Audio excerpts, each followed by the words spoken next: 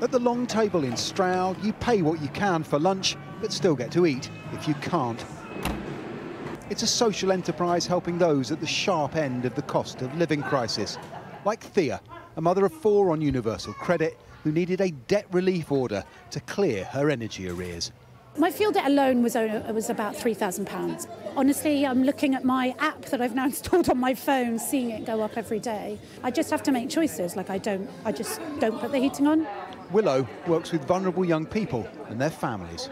Maybe the saddest thing for me is that young people don't really talk about it because it's normal to be cold in their house. A young person like came to one of our youth, youth clubs yesterday and said that it was as cold inside their house as it was outside. This winter there'll be little respite from energy prices. From January, the price cap for typical domestic dual fuel use will rise by 1.2% to £1,738 a year. The cap is forecast to fall by a similar amount in April. As prices have risen, so has household energy debt, doubling to £3.7 billion since the Ukraine war began. This price increase is relatively small, but coming in the first cold snap of winter, it's a timely reminder of the long term trend. Energy prices are 50% higher than they were two years ago.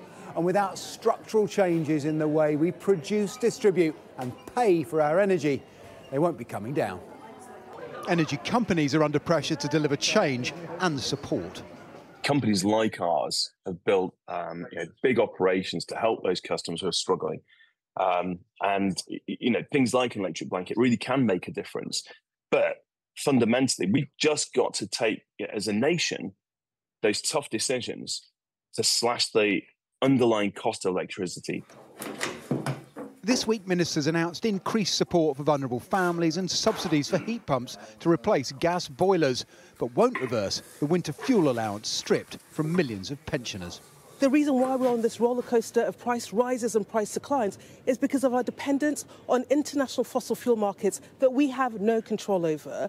So our priority is to make that drive to clean power by 2030 so that we can have homegrown energy that we control. While we wait, many will rely on homegrown help to keep the cold at bay. Paul Kelso, Sky News in Stroud.